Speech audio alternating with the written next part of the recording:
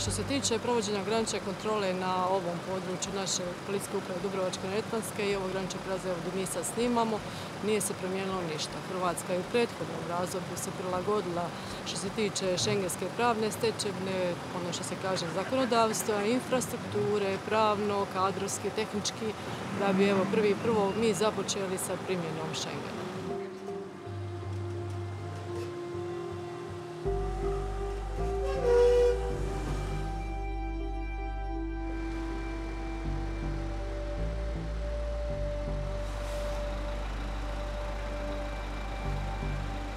Znači sva ista pravila koja se odnose na državljane trećih zemalja u našem okruženju, kako što ste rekli, državljane BiH, državljane Crne Gore, odnosno Srbije. Oni na isti način pristupaju graničnoj kontroli ovdje, na isti način trebaju ispunjavati pravila, znači svoju putnu ispravu imati i opravdati razloge ulaska u Republiku Hrvatsku, odnosno u ovom slučaju sada u šengenski prostor.